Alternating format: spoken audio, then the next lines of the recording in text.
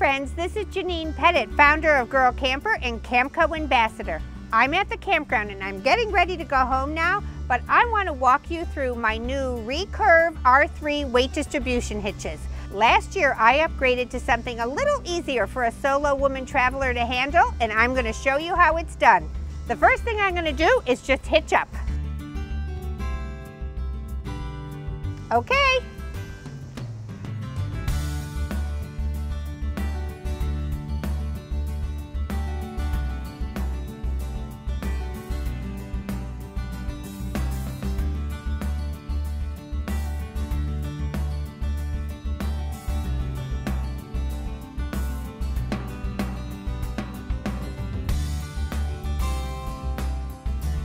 One of the things that a weight distribution hitch does is distributes the pin weight.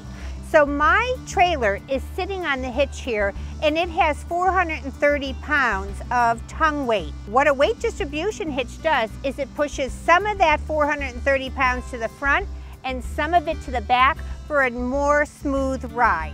With weight distribution hitches, it's the bar that distributes the weight.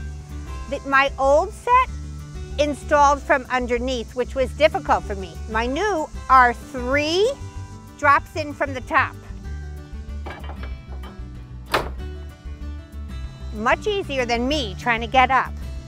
I'm gonna run around, put them in on the other side and show you how I attach them.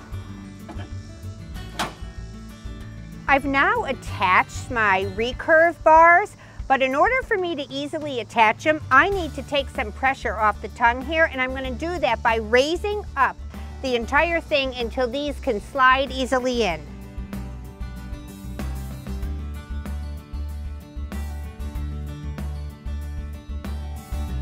All right, I have finished raising my tongue jack. This brings my bars up and makes them easier for me to install.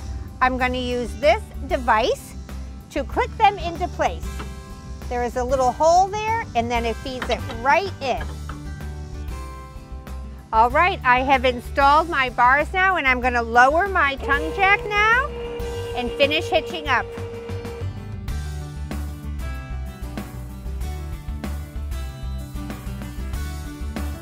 I have raised my tongue jack as far as it'll go and the last thing I'm gonna do is use this Allen wrench to tighten the sway control on this hitch. There are weight distribution hitches, sway control bars, and this is a combination of the two. This is the last step in me getting hitched up.